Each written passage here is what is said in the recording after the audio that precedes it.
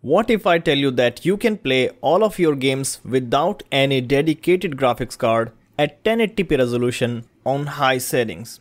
You will say that is impossible. But here is the good news. AMD's next gen Ryzen 6000 APUs are going to make this very possible in the coming month. So what is this amazing info I'm talking about?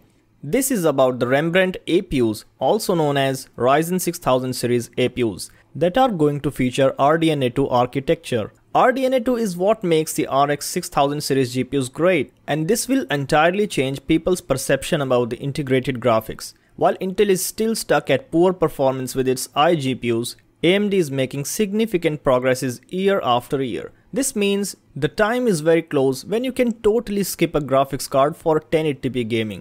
So, here is what I got to know about these APUs.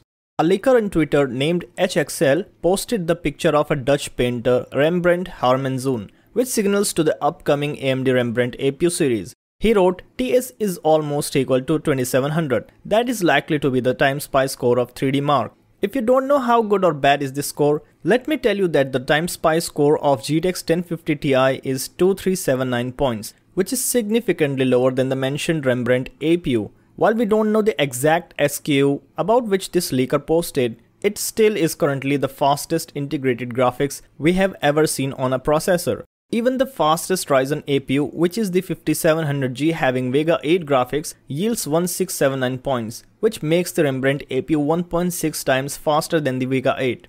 While Vega 8 is already capable of playing most titles at 1080p resolution with playable frame rates, you will need to lower the settings to low in graphical intensive games. But this won't be the case with Rembrandt APUs.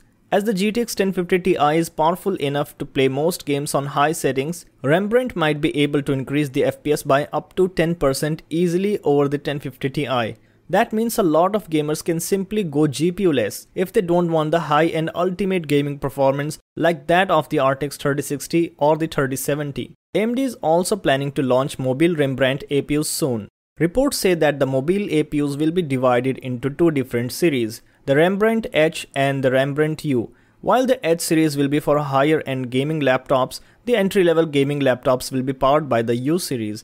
Both of these APUs will be based on 6nm process node and will feature up to 8 cores and 16 threads.